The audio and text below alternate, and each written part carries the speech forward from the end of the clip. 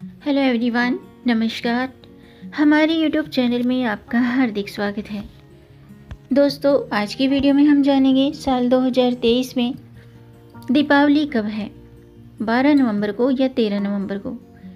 साथ में जानेंगे, लक्ष्मी गणेश की पूजा का शुभ मुहूर्त, पूजा विधि और माँ लक्ष्मी और गणेश जी का प्रिय भोग और इस दिन किए जाने वाले खास उपाय। दोस्तों दिवाली की तैयारियाँ शुरू हो चुकी हैं। लक्ष्मी जी का स्वागत करने के लिए लोग तैयार हैं। चार दिन बाद दीपावली का महापर्व मनाया जाएगा। पंचांग के अनुसार हर साल कार्तिक मास की अमावस्या तिथि को दीपावली मनाई जाती है। दिवाली दियों का ऐसा त्यौहार है जिसके धूम पूरे देश में दिखाई देती है। पाँच दिवसीय इस त्यौहार की शुरुआत धनतेरस से होती है। और इसका समापन भाई दूज के साथ होता है। ऐसा माना जाता है कि दिवाली के दिन प्रदोष काल में लक्ष्मी गणेश के पूजन से हमारे घर में सुख समृद्धि का वास होता है और हर काम में सफलता प्राप्त होती है, कामयाबी मिलती है।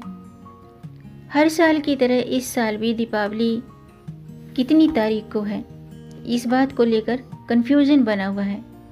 तो ये कन्फ्यूज़न दूर करेंगे। आज की वीडियो में हम जानेंगे, साल 2023 में नवंबर में दिवाली कब की है? लक्ष्मी गणेश प्रदोष काल पूजा का शुभ मुहूर्त, पूजा विधि और लक्ष्मी गणेश का प्रिय भोग और मंत्र। तो वीडियो शुरू करने से पहले आपसे एक खास बात। दोस्तों, अगर आप इस चैनल पर नए आए हैं और पहली बार आए हैं तो इस चैनल को सब्सक्राइब कर दीजिए।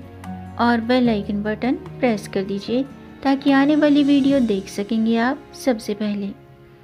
और जिन्होंने मेरा चैनल सब्सक्राइब कर दिया है, यानी कि अपना प्यार इस चैनल को दिया है, उनका दिल से आभार। बहुत बहुत धन्यवाद दोस्तों। इसी तरह मेरे चैनल के साथ जुड़े रहिएगा और अपना प्यार हमें देते रहिएगा। वीडियो को अंत तक ज़रूर देखिएगा ताकि कोई भी जानकारी छूट न जाए। क्योंकि आधी अधूरी जानकारी से पूरा लाभ नहीं मिलता है। इसलिए हमारे साथ अंत तक बने रहिएगा। तो आइए शुरू करते हैं। दोस्तों, दिवाली की तैयारियाँ शुरू हो चुकी हैं। हिंदू धर्म में दीपावली प्रमुख त्योहारों में से एक है और देश भर में बड़ी धूमधाम से दिवाली मनाई जाती है। हर साल कार्तिक माह की अमावस्या तिथि को दिवाली का उत्सव मनाया जाता है। इस दिन शाम को लक्ष्मी गणेश, भगवान राम, माता सीता, माता सरस्वती और हनुमान जी की पूजा की जाती है। सनातन धर्म में दीपावली पर्व को सुख समृद्धि का प्रतीक माना जाता है। दिवाली के दिन घर की साफ़ सफ़ाई और सजावट करने के साथ साथ लक्ष्मी गणेश के पूजन से धन दौलत और घर में धन का आगमन होता है, बरकत होती है। और घर में माँ लक्ष्मी का वास होता है, जिससे परिवार के सदस्यों को कभी भी धन की तंगी का सामना नहीं करना पड़ता है। पौराणिक कथाओं के अनुसार ऐसा माना जाता है कि इसी दिन प्रभु श्री राम की लंका पर विजय प्राप्त करके अयोध्या वापस लौटे थे और इसी खुशी में अयोध्या वासियों ने राम और सीता जी के स्वागत में दीपक जलाकर प्रसन्नता व्यक्त की थी। तभी से दिवाली मनाने की शुरुआत मानी जाती है।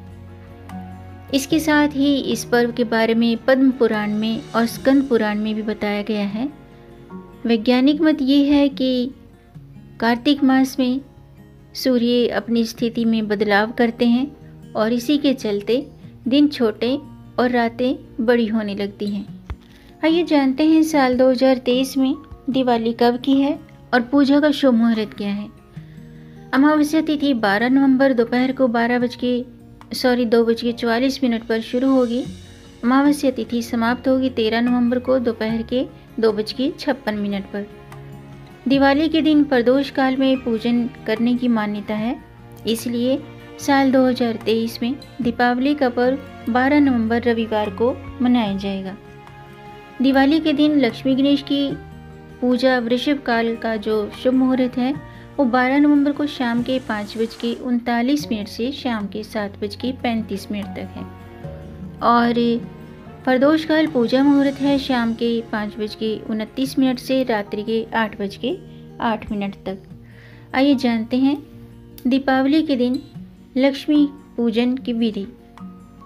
दोस्तों, ऐसा माना जाता है कि दिवाली की रात भगवान श्री राम चौदह वर्ष के वनवास के बाद अयोध्या लौटे थे, जिस कारण उनके आने की खुशी में पूरे राज्य को दीपों से सजाया गया था। तो वही ऐसी मान्यता भी है कि इसी दिन माँ लक्ष्मी धरती पर अवतरित होती हैं, जिस कारण प्रदोष काल में माँ लक्ष्मी के स्वागत के लिए हर जगह दीप जलाए जाते हैं। दिवाली के दिन प्रदोष काल में पूजा स्थल पर एक साफ़ चौकी पर लाल वस्त्र बिछाकर लक्ष्मी गणेश की प्रतिमा स्थापित करें। और यानी कि घर के ईशान कोण, यानी कि जो उत्तर दिशा होती है, वहाँ पर एक छोटी चौकी पर लाल कपड़ा बिछाएँ, लक्ष्मी गणेश की प्रतिमा स्थापित करें। सबसे पहले गणेश लक्ष्मी का आचमन करें, फिर गंगा जल में पानी मिलाकर गणेश जी को स्नान कराएँ। इसके बाद लक्ष्मी जी को स्नान कराएँ। और इसके बाद पूजा स्थल में जल से भरे कलश रखें। कलश के अंदर एक सिक्का, सुपारी, गेंदे के फूल और अक्षत डालें। कलश पर आम या अशोक के पाँच पत्ते भी लगाएँ। अब कलश को एक छोटी सी थाली से ढकें, जिसके ऊपर चावल रख दें। अब सबसे पहले पूजा स्थल पर घी के दीपक जलाएँ और प्रतिमा को तिलक करें। यानी कि गणेश जी को तिलक करें, माँ लक्ष्मी को तिलक करें। और सभी पूजन सामग्री जैसे कि खील बताशे पंचमेवा गुड़, फल, फूल, मिठाई, माँ लक्ष्मी जी को कमल का फूल और कौड़ियाँ भी ज़रूर अर्पित करें। अब माता लक्ष्मी के मंत्रों का जाप करें और श्री सूक्त का पाठ भी करें।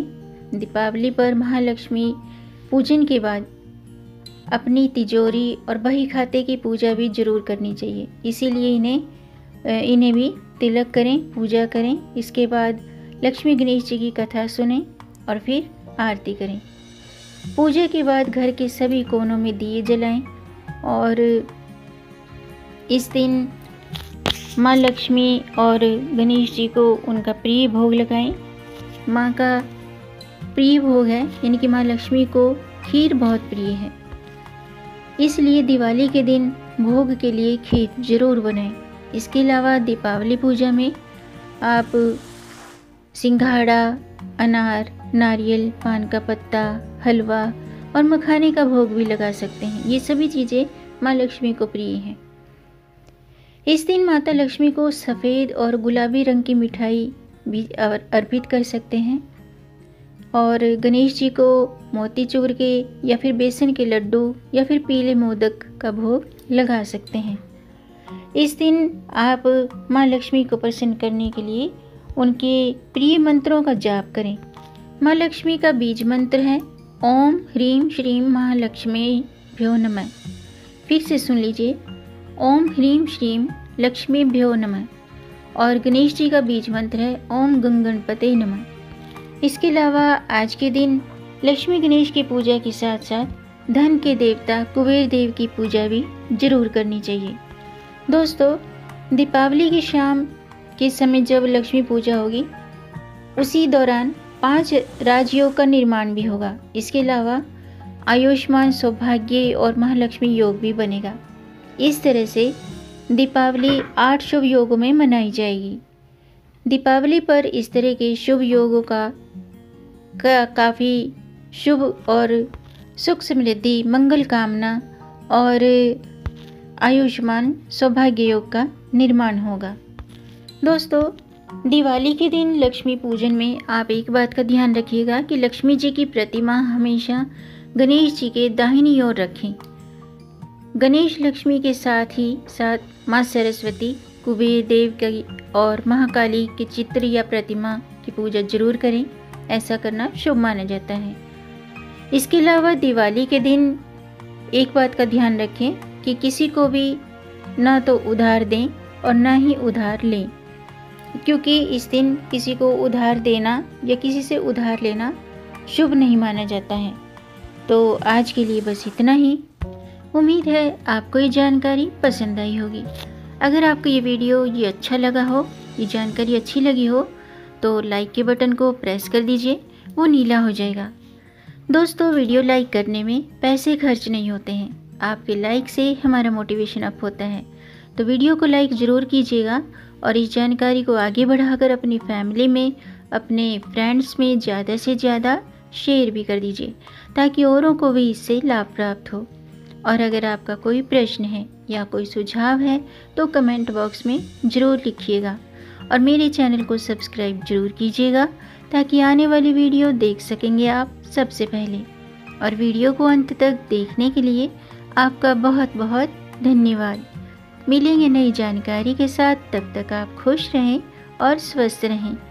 अपना ख्याल रखें और अपनों का भी ख्याल रखिएगा। जय श्री हरि, हर हर महादेव। मेरे सभी व्यूवर्स और सब्सक्राइबर्स को दीपावली की हार्दिक शुभकामनाएँ।